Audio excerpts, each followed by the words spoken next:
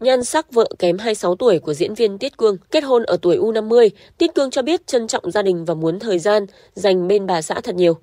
Ngọc Thưởng, vợ kém anh 26 tuổi hiện làm công việc bán hàng online. Cô được khen là trẻ trung năng động với phong cách thời trang, nữ tính. Bạn đời của Tiết Cương chuộng lối trang điểm tự nhiên, ít son phấn. Cô ăn mặc giản dị, thoải mái nhưng không kém phần điệu đà. Sở hữu sắc vóc thon thả, nước da trắng mịn, Ngọc Thưởng thường chọn những bộ trang phục có thiết kế ôm sát, bèo nhún điệu đà. Cô thích mặc váy áo crop top cùng một số phụ kiện đơn giản như kính, túi sách. Ngọc Thưởng thường dành thời gian du lịch cùng bạn bè trước khi kết hôn. Khi lấy chồng cô cùng nam diễn viên đi Thái Lan hay các chuyến du lịch ngắn ngày trong nước. Từ việc giấu kín ban đầu, Tiết Cương dần cởi mở giới thiệu bà xã với bạn bè người thân. Một số đồng nghiệp nữ thân thiết của anh như Lê Giang, Cát Tường đều từng gặp gỡ ăn uống trò chuyện cùng cả hai. Họ bày tỏ tình cảm dành nhiều lời khen cho bạn đời của Tiết Cương. Trên kênh youtube cá nhân, Tiết Cương cũng đăng tải những video cuộc sống đời thường. Đôi vợ chồng son cùng có những chuyến đi chơi, khám phá ẩm thực, review địa điểm du lịch.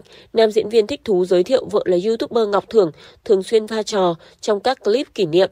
Tiết Cương tiết lộ mình và vợ thành đôi bởi chữ duyên. Vợ anh cũng là fan đã theo dõi anh nhiều năm.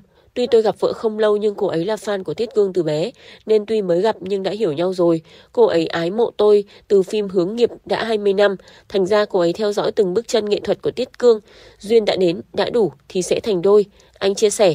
Nói về việc chênh lệch tuổi tác, Tiết Cương cho rằng điều này không quan trọng vì chủ yếu vẫn do tâm hồn mỗi người. Anh quan niệm sống vui vẻ yêu đời tự nhiên sẽ thấy mình trẻ trung.